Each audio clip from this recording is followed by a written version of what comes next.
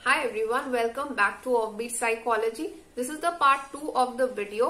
अगर आपने first part नहीं देखा है साइकोमेट्रिक स्केल कैसे पब्लिश करते हैं तो फिर आप उसका पार्ट वन ज़रूर देखिए वो पार्ट वन बहुत ही एसेंशियल है सभी लोगों के लिए जो साइकोलॉजी की फ़ील्ड को बिलोंग करते हैं या इन जनरल किसी भी सोशल साइंस की फ़ील्ड को बिलोंग करते हैं तो उसका पार्ट वन का लिंक मैं आपको यहाँ पे दे रही हूँ। पार्ट वन नहीं देखा है तो जाके देख लीजिए। उसके बाद ये पार्ट टू देखिए तो आपको ज़्यादा अच्छे से समझ में आएगा। बार आपने अपना साइकोमेट्रिक स्केल बना लिया।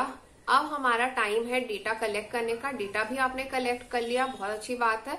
अब हमें क्या करना है? अब हमें एक ऐसे प्रोफेशनल की हेल्प लेनी है जिसके पास एसपीएसएस हो। और अगर आपके खुद के पास एसपीएसएस है या आपको रिसर्च में बहुत इंटरेस्ट है और आपको ऐसा लगता है फ्यूचर में एसपीएसएस आपके काम आ सकता है तो फिर आप इसको परचेज भी कर सकते हैं। ये एक आईबीएम का सॉफ्टवेयर है। आई थिंक सभी रिसर्च के, जितने भी लोग हैं फ़ील्ड के, वो सब जानते हैं एसपीएसएस के बारे में। तो भी आपने डेटा लिया हुआ है, उसको कंप्यूटर में फ़ीड करना शुरू करिए। यानी कि जो भी आपने क्वेश्चन एयर बनाए, लोगों को दिए, उनसे जो भी आपको डेटा मिला, उनके जो जो रिस्पॉन्सेज है हर आइटम पे, उसको आप एक एक्सेल शीट में भी डाल सकते हैं। एक्सेल शीट में डाल के आप एसपीएसएस में डेटा को इम्पोर्ट कर सकते हैं और अब हमारा टाइम आ गया है जब हम टेस्ट की वैलिडिटी रिलायबिलिटी ये सारी चीज़ें कैलकुलेट करेंगे। बेसिकली एक टेस्ट को हम स्टैंडर्डाइज करेंगे, क्योंकि हमने जो सैंपल चूज़ किया है वो 300 लोगों का है, लेकिन हम इसको एक जनरल पॉपुलेशन पे लगाना चाहते हैं ताकि सबके काम आ सके। तो इसीलिए इस टेस्ट को स्टैंडर्डाइज किया जाता है एसपीएसएस या किसी और प्रोफेशनल सॉफ्टवेयर के थ्रू जब आप ढूंढ रहे हैं किसी को जिसके पास एसपीएसएस हो, कई लोग पैसे लेकर भी एसपीएसएस में आपका डेटा डाल के एनालाइज करके आपको रिलायबिलिटी वैलिडिटी टेस्ट की निकाल के दे देंगे तो आप वो भी कर सकते हैं। कोई फ्रेंड हो, किसी को जानते हो, किसी के थ्रू आप अप्रोच कर सकते हैं, किसी प्रोफेशनल को जो स्टैटिस्टिक्स में थोड़ा अच्छा हो। अगर आपका हाथ अच्छा स्टैटिस्टिक्स में तो आप ये काम खुद भी कर सकते हैं बट अगर नहीं है तो आप किसी स्टैटिस्टिशियन की हेल्प ले सकते हैं। इस काम को करने के लिए। तो बाय द टाइम आप ऐसा कुछ सर्च कर रहे हैं या आपका डेटा कलेक्शन हो रहा है या आप डेटा कलेक्ट कर चुके हैं, उसको कंप्यूटर में फ़ीड करें, इस प्रोसीजर के साथ साथ हमको एक और इम्पोर्टेंट काम करना होता है, वो तो है मैनुअल क्रिएट करना। हर टेस्ट के साथ एक मैनुअल ज़रूर आता है। मैनुअल क्या होता है? जो हमें टेस्ट के बारे में बताता है, वो टेस्ट कैसे बना, वो सारा प्रोसीजर उस मैनुअल में लिखा जाता है इंक्लूडिंग स्कोरिंग अगर आपके आइटम्स में येस नो टाइप की स्कोरिंग है तो अगर एक इंसान का स्कोर ज़ीरो से थर्टी के बीच में आता है मतलब उसका क्या है? तो मैनुअल में हम ये सारी इंफॉर्मेशन देते हैं। कैसे हमने टेस्ट बनाया, क्या हमारा सैंपल साइज़ था, हमने कैसे उसका एसपीएसएस का वैल्यू निकाला रिलायबिलिटी का वैलिडिटी का एसपीएसएस की हेल्प से, ये सारी चीज़ें हम लोग मैनुअल में मेंशन करते हैं। हम मैनुअल में और भी चीज़ें मेंशन करते हैं, जैसे कि अगर आपने उस टेस्ट को बनाते टाइम कोई रिसर्च पेपर पब्लिश किया तो उससे आपका टेस्ट जो होता है वो और इनहेंस हो जाता है अच्छा हो जाता है। यानी कि आपने स्मॉलर सैंपल्स पे वही रिसर्च कंडक्ट किया और फिर लार्जर सैंपल जो हमारा 300 या 400 या जो भी है, उन पे कंडक्ट किया। ये सारी चीज़ें आप उस मैनुअल में डालते जाइए साथ साथ। ओके एक चीज़ जो हमारे टेस्ट को बहुत अच्छा बना सकता है, वो है रिलायबिलिटी और वैलिडिटी जैसा कि मैंने अपने पार्ट वन में मेंशन किया था रिलायबिलिटी अच्छी हो, इसके लिए आपने जिन लोगों से डेटा कलेक्ट किया है, अपने सैंपल में तीन सौ या चार सौ, आपको एक या दो महीने का गैप लेके फिर से उन्हीं लोगों को वही क्वेश्चन भेजना है और देखना है फिर से उनके रिस्पॉन्सेज सेम है या सिमिलर है। रिस्पॉन्सेज जितने सेम या सिमिलर होंगे, आपका एसपीएसएस में फिर से आपको वही सेम प्रोसीजर फॉलो करना है। दोबारा से उनसे डेटा कलेक्ट कलेक्ट करके कंप्यूटर में डालना है, उसके बाद एक्सेल शीट से आप एसपीएसएस में डाल सकते हैं एसपीएसएस में डायरेक्टली भी फिल कर सकते हैं। और उसके बाद आप उनकी रिलायबिलिटी को मेजर कर सकते हैं। बेसिकली रिलायबिलिटी का कॉन्सेप्ट ये है कि आपका टेस्ट जितना रिलायबल होगा, उतना अच्छा होगा। उतना ज़्यादा कि एरर फ्री होगा, उतना परफेक्ट होगा।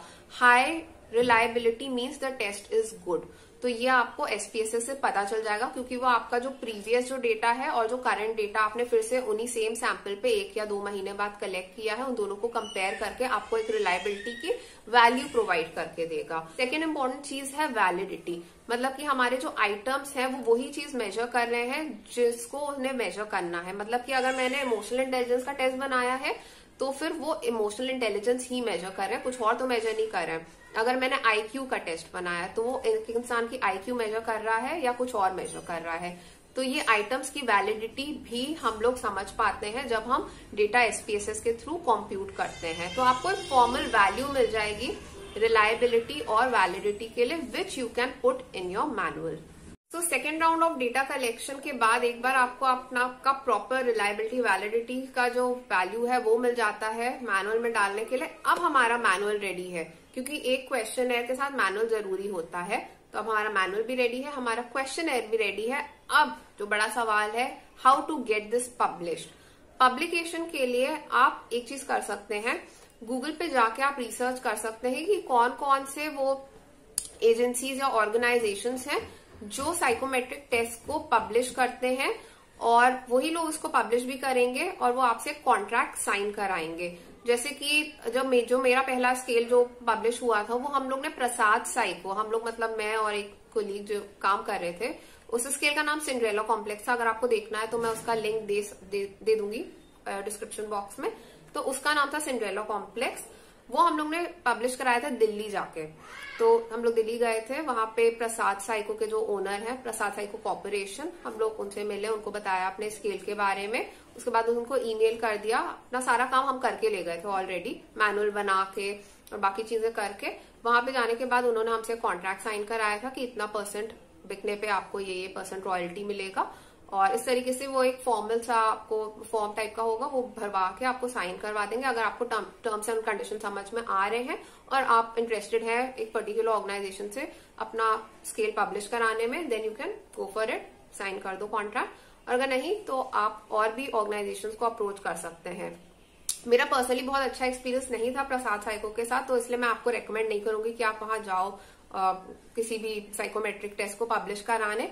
In fact I feel national psychological corporation is much better और भी एक दो हैं, उनका डिस्क्रिप्शन में मैं लिंक दे दूँगी, जिन ऑर्गेनाइजेशन जो हेल्प करते हैं पब्लिश कराने में एक साइकोमेट्रिक असेसमेंट को. वंस यू डिसाइड कि आपको अपना साइकोमेट्रिक असेसमेंट कहाँ से पब्लिश कराना है and you have signed the contract उसके बाद ये लोग आपका साइकोमेट्रिक टेस्ट पब्लिश कर देंगे. आपको एज एन ऑथर अपनी खुद की कॉपी भी मिलेगी साइकोमेट्रिक टेस्ट की, और आपका टेस्ट मार्केट में आ जाएगा।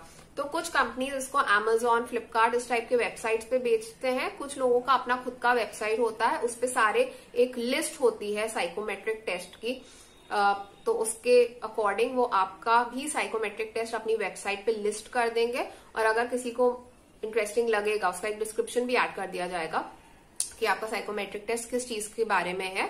उसके बेसिस पे अगर कोई इस वेबसाइट पे आता है, उसको लगता है कि हाँ ये टॉपिक अच्छा हो सकता है रिसर्च के लिए इंटरेस्टिंग हो सकता है, ये कुछ सिग्निफिकेंट कंट्रीब्यूशन देगा मेरी पीएचडी में, मेरे डेजर्टेशन में तो वो आपका पब्लिकेशन खरीद सकते हैं, आपका स्केल खरीद सकते हैं। आपका साइकोमेट्रिक स्केल बिकने लगता है तो मोस्टली आपको साल के एंड में वो लोग कॉल करते हैं, नहीं तो आप खुद भी कॉल कर सकते हैं और उनसे पता कर सकते हैं कि कितनी सेल हुई है आपके साइकोमेट्रिक असेसमेंट की और उसके बेसिस पे आप अपना रॉयल्टी अमाउंट ले सकते हैं उस ऑर्गेनाइजेशन से। और right so I just want to say a special thank you to all of you जो मेरे कॉन्स्टेंट व्यूअर्स हैं हुआ coming back to see my videos which is helping me to grow as a YouTuber and this channel. Is growing because of you all. So I want to say a big thank you to you all. Alright, so this is how you can construct your own psychometric assessment and get it published which will be sold in the market. उससे आपका भी नाम बनता है research की field में लोग जान पाते हैं कि हाँ ये एक सिग्निफिकेंट कैंडिडेट है फ़ायदे क्या होते हैं अपने खुद के साइकोमेट्रिक असेसमेंट के मैं एक बार जल्दी से आपको इसके फ़ायदे नुकसान बता देती हूँ एक्चुअली नुकसान तो नहीं बोलेंगे बट हाँ एक नेगेटिव साइड जो होता है जब आप इस तरीके की रिसर्च करते हैं, वो क्या है? सबसे पहली चीज़ ये है कि अपने आइटम्स और टॉपिक्स को समझना कि आप किस टॉपिक पे साइकोमेट्रिक टेस्ट बनाना चाहते हैं। अब ये चीज़ कुछ लोगों के लिए बहुत डिफ़िकल्ट हो सकती है, क्योंकि जब हम डेजर्टेशन या पीएचडी के लिए जा रहे होते हैं तो हमको टॉपिक चूज़ करने में ही सबसे ज़्यादा टाइम लगता है। रिसर्च मेथोडोलॉजी क्या होगी? अगर आपको इस तरीके के सवाल आ रहे हैं कि हाँ मुझे बनाना तो है, लेकिन मुझे अभी टॉपिक क्लियर नहीं है तो आप अपने सीनियर्स से या फिर जो आपके अच्छे प्रोफेसर हैं, जिनसे आपका अच्छा ट्यूनिंग है, उन लोगों से आप बात करिए और आइडिया लीजिए। अगर रिसर्च कैसे करना है मतलब कि रिलायबिलिटी वैलिडिटी कैसे निकालनी है और कौन सी निकालनी है, क्योंकि रिलायबिलिटी और वैलिडिटी के भी डिफरेंट टाइप्स होते हैं।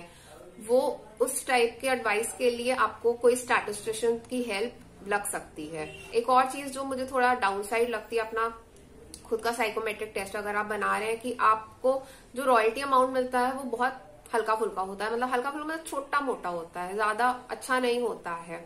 और अगर आपका जो ऑर्गेनाइजेशन पब्लिश कर रहा है वो ऑनेस्ट नहीं है आपके साथ तो, तो आपको अच्छा नहीं लगता है। ये सब कुछ एक डाउन साइड है अपना खुद का साइकोमेट्रिक टेस्ट पब्लिश करने का। And of course the entire procedure is very tedious and time taking but it depends on your level of motivation and focus अगर आपका मोटिवेशन लेवल ऑफ़ फोकस बहुत high है बहुत अच्छा है एटीट्यूड पॉजिटिव है तो आपको बहुत ज़्यादा टाइम नहीं लगेगा साइकोमेट्रिक टेस्ट बनाने में। मुझे लगता है मिनिमम तीन से चार महीने के अंदर बन जाना चाहिए। अगर आप अभी स्टार्ट करते हैं एकदम एज अ फ्रेशर और अगर आपके माइंड में ऑलरेडी एक टॉपिक प्री डिटरमाइंड है, बहुत टाइम से आपका मन है कि हाँ मैं इस टॉपिक पे काम करूँ, और मार्केट में कोई साइकोमेट्रिक टेस्ट नहीं है उस टॉपिक से रिलेटेड तो फिर डेफिनेटली चांसेस बहुत अच्छे हैं कि आपकी रिसर्च बहुत अप्रिशिएट करी जाएगी।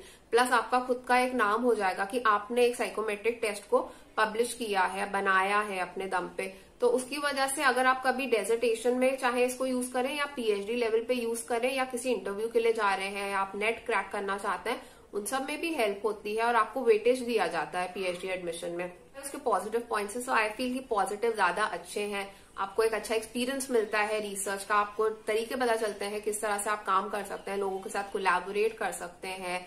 आप अपने फ्रेंड के साथ मिलकर एक स्केल बना सकते हैं। आपको अगर फ्रेंड के साथ या किसी और साथ काम नहीं करना है आप होलसेल ऑथर भी बन सकते हैं साइकोमेट्रिक असेसमेंट के। और उस असेसमेंट को जैसे कि हम एक बुक डेडिकेट करते हैं किसी को, उसी तरह से आप एक साइकोमेट्रिक असेसमेंट को भी अपने प्रोफेसर्स को टीचर्स को पेरेंट्स को सिबलिंग्स को हस्बैंड वाइफ चिल्ड्रन को किसी को भी डेडिकेट कर सकते हैं। क्योंकि जब हम बुक वगैरह खोलते हैं तो मोस्टली उसमें this book is dedicated to so and so लिखा होता है। उसी तरह से हम साइकोमेट्रिक असेसमेंट के लिए भी कुछ डेडिकेशन लिख सकते हैं।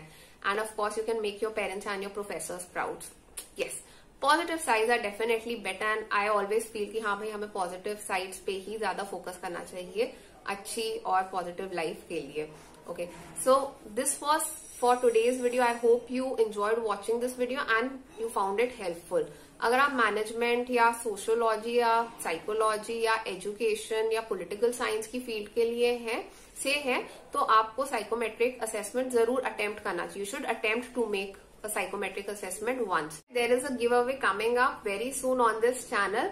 So stay tuned and be sure that you are watching my videos, you are engaging with my videos and uh, if you like it then be sure you are subscribed to the channel and also hit that bell icon so that you receive all the important notifications related to my videos. I will see you all very soon. Thank you so much for watching. Bye bye.